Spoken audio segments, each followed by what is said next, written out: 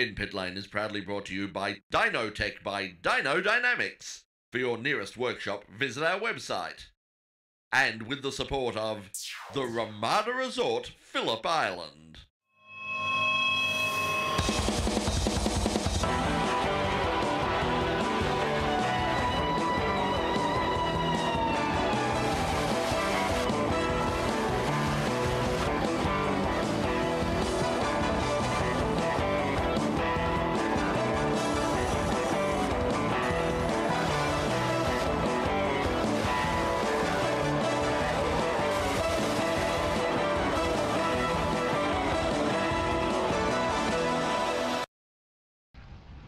Throughout the 1960s and into the mid 70s was a classic era of big banger sports cars. Competing in events like the Le Mans 24 Hours and the North American Can-Am Series, these purpose-built sports races were, for a short time, very much considered a threat to the popularity of Formula One. In 2013, the Victorian Historic Racing Register invited a field of these cars to race at the annual Phillip Island Classic Festival of Motorsport. Widely regarded as one of the premier events of its kind in the world, the Phillip Island Classic attracts competitors and hardcore race fans from all over Australia and from across the globe.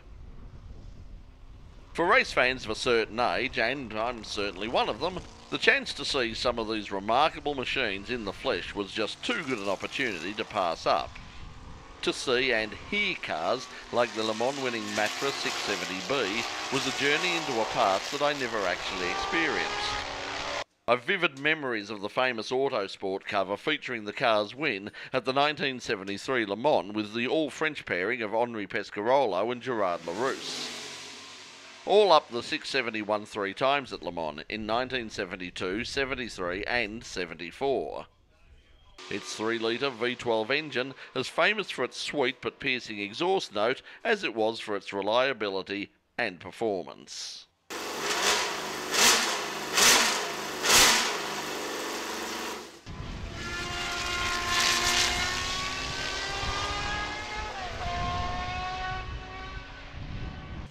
The Matra wasn't the only Le Mans winner at Phillip Island. The Porsche Museum was once again on hand to display two classic sports races of a different era, including this 936, the winner of the 1981 French Classic. Well, the car to my right here is the Jules uh, 936 from 1981, and it's an interesting story about this car because originally it raced in 76 and 77 and it was retired for into the museum, in the Porsche Museum. And then uh, Peter Schutz, the then boss of Porsche, decided we need a car to race in 81. We must win Le Mans in 81. So they, all they have is this car at the museum. So they take this car out of the museum and put the new generation water-cooled flat six engine in and some bodywork modifications and Ickx and Bell have a good run with this car and uh, win the event for Porsche, 14 lap in front. So it, it, works good. Good for this old car works good, and it was the last of the uh, Group Six regulation. Uh, so then in '82 was the group new Group C car, which they build a new car, uh, 956. So this old car works well with the new engine and great drivers and a victory, another victory for Porsche.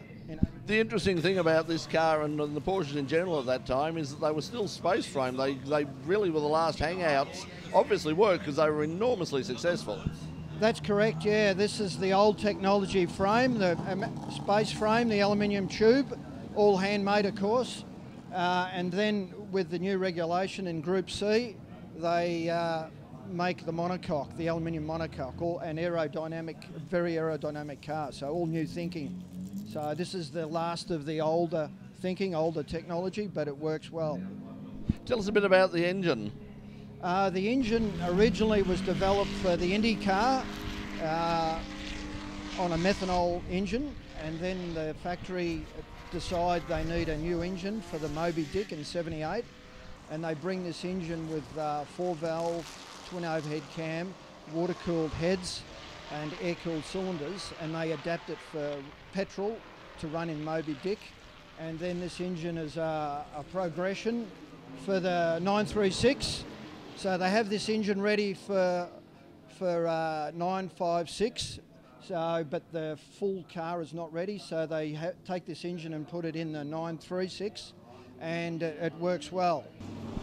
Now the car that's alongside of it here today is probably is the last of the uh, prototype Porsches until we see next year, of course. That's the LMP2 car, the Spider. Tell us about that.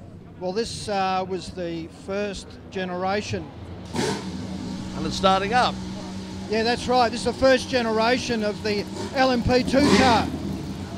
So, uh, yeah, it's a little bit noisy, uh, but uh, we take some photos of this and you can see uh, see where the technology from this car, all carbon fibre, so different thinking. The North American Can-Am series of the late 1960s and early 70s is regarded by many as the pinnacle of sports car racing. Sure, there were rules, but they were very flexible and they allowed some of the fastest and still most powerful circuit racing cars ever built. Phillip Island was a rare chance to see these amazing cars outside of the USA. The man who bought them here was Scott Dernick. Well, the Can Am was probably the most wildly American series because it was a no limits series. The rules were you had to have four wheels, you have it at an engine that burned liquid fuel, and that was about it. You couldn't have movable aerodynamic devices. So the engines just got exponentially bigger. I mean, nine liters is a pretty big engine. Uh, the tires are 19 inches wide on the rear. The cars uh, have an incredible amount of power and torque. And you know, the motto of the the series they used to have in the day was that too much was barely enough. Uh, you mentioned the McLeagle that we're, we're standing in front of at, at, the moment. Tell us about that. I mean, very famous driver in Dan Gurney, and he never sort of left well enough alone. He, and as you say, he's modified this. Specifically, what are the features of this car? Well, when they got the, the McLaren, uh, it started out life as a regular McLaren M6, and they thought they could improve upon it. So the first thing you do with a race car is make it lighter. So they made lighter weight bodywork. They made a number of titanium components that beautifully fabricated exhaust is sand bent titanium tubing, which in 1968 was pretty exotic. Um, making the car lighter worked very well for them. So emboldened by that, they changed the shape of the front bodywork, and that worked a little bit better too. After that, most of the modifications they did made the car slower.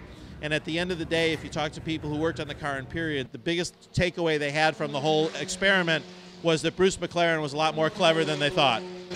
When you think of classic Italian sports cars, you think of Ferrari. But Ferrari isn't the only great Italian mark in international sports car racing, far from it. Alfa Romeo has a long and proud history of great sports cars at Le Mans. Joe Nastasi is an Alfa Romeo lover from the United States, and he brought two stunning examples to Phillip Island. My name is Joe Nastasi. I am uh, from New York, Italian, and I've been collecting this Alfa Romeo for a long time, sometime back in 1985. I have a lot of those. We enjoy driving, representing the Alfa Romeo colors. And uh, I was invited here in uh, Australia. Very nice, very kind people. We enjoying the track and the weather. And, you know, just uh, for the sport, you know. Tell us about the cars you brought out. The cars I brought out were uh, this one here is a, a 12 cylinder 1975 World Championship N77 uh, sponsored by Fernet Tonic. I purchased the car originally from Autodelta in 1984 and I've always been restored driving, enjoying. Beautiful car, easy to drive, lots of power just old. Sadly, Joe's weekend didn't turn out quite as he had hoped, as the T33 SC12 had engine problems and did too few laps for anyone's liking.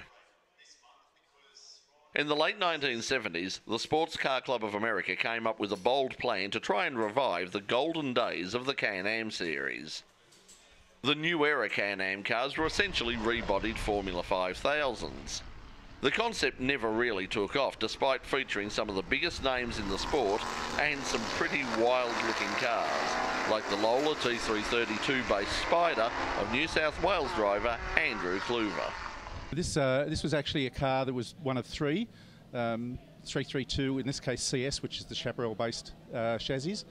um, which was bought by Paul Newman and uh, Bill Freeman. And they set up in Santa Barbara, a little garage, old Cass station, and they built about three of these cars. Uh, they call spider cars. To our knowledge, this is the only one that still exists in the world. And this is, as you can see, the Keke Rosberg car, um, which Keke was pretty notorious in terms of the way he drove it. And there's some great YouTube footage of it, uh, but the car itself um, has been restored. Um, we had an accident, burnt to the ground last year. We have since rebuilt it and it's in pristine condition. Um, but the car, as it is, has probably only seen racing in the last 18 months uh, from the ground up restoration that we did on it. So one of the problems of the Can-Am single seat Can-Am era is, of course, that many of them started their lives as actual Formula 5000s. The fact that this has got the other, another chassis underneath, does that make it integral that it's going to stay like this and not be broken up for a 5000? Well, this one won't be broken up. Um, the reason it won't be broken up, as I said, I believe this is the only Spider in the world. I, I stand corrected, but I have done some pretty intensive searches. Um, this car is also known as the John Corn car which means it's um, it's got pedigree. Um, so I can run it either way, but I wouldn't change it back. Um, it's just the way the car is. It's also been driven by uh, Bobby Rahal, uh, Elliott Forbes Robinson, um, and as I said, Keke Rosberg. To I think he actually won the world championship in it in '78. Australia had its own era of big banger sports cars, names like Matich, Elfin, and Rennmax. This Rennmax BN6 had been in the Gibson family for many years. Paul Gibson raced the car in the 1970s. This weekend at Phillip Island, his son Michael was given the chance to continue the family tradition. It's a real honour, you know, especially being in the family for so long and, uh, you know, growing up around this car and uh, getting the opportunity to drive it. It's just like a, a childhood dream come true and then uh, to go on to next week and drive it at the Grand Prix is even a, a, bigger buzz, you know. So it's it's really good. So for people who don't know the history of the Gibson family, especially around the Benalla area, I mean, one of the most famous racing families in Australia, really.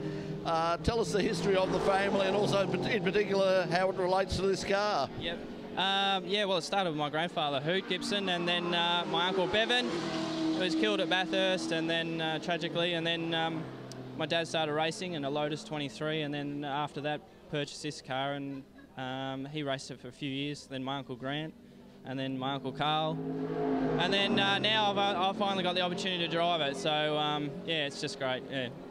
So the car was obviously around a lot longer before you were. I mean, tell us a bit about the history of it. What sort of car is it? When when was it originally built? Yeah, it, it was built by Bob Britton. Uh, it's a uh, Rennmax sports car with a three-litre Repco Brabham in it. Um, Dad and Grant uh, raced it in the uh, Group A Sports Car Championship in the uh, mid 70s and uh, backed by Shell Sport um, back in the day. And um, yeah, I mean, they had a lot of success in it. Uh, the New South Wales Tourist Trophy and a lot of lap records uh, through Victoria and New South Wales. So yeah, a lot of history. Australian race engineer Barry Locke is responsible for some of the fastest sports cars ever seen in Australia. Cars like Bap Romano's Kaditcha and the ex-Kevin Bartlett Di Tommaso, which was also seen at the island. But for years he was part of the all-conquering McLaren Can-Am juggernaut. McLaren dominated Can-Am racing. Only the might of Porsche could end one of the most dominant streaks in the history of world motorsport. Locke is still working on classic McLarens and still making them go fast. Um, my role was uh, detail engineering, and uh, at that stage, Gordon Coppuck was the uh, chief engineer, um, responsible for all aspects of design and so on.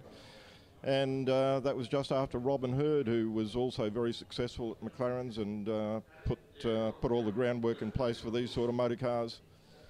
So, what's it like working on this car again? Oh, it's uh, absolutely fantastic. I, uh, I, I love the, uh, the, the motor cars. The sports cars are just great. Um, in fact, at that stage, the uh, as I say, the whole the, really the focus was upon the sports cars, and of course the results show that as well. But um, it's uh, it's just great to be involved yet again. Yeah.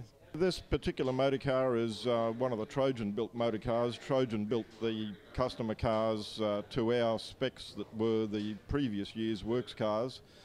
And uh, this particular car is probably the most original here in pit lane today. Uh, it uh, it uses um, absolutely identical components to the customer car at that time, and it was, of course, one of the most successful customer cars at the time as well. It's a big lump of engine in the back. We sort of ooh and ah about the Formula 5000 or less, but tell us about this is a bit bigger than a 5 litre, I believe. Well, yes, it is. Um, when we uh, were looking for more horsepower, as that was part of the game at the stage, of course, um, Reynolds came to the assistance with their 8 litre aluminium blocks, and uh, this is um, a uh, basically it's the Reynolds 8 litre aluminium block. This one's 800 horsepower, and um, well, obviously very effective. The fine weather, the great racing, and the all round atmosphere of the Island Classic make the meeting a must see on the bucket list of any hardcore race fan. 2014 will be the event's silver anniversary. One wonders how they'll celebrate it. Silver, eh? Hmm. Silver.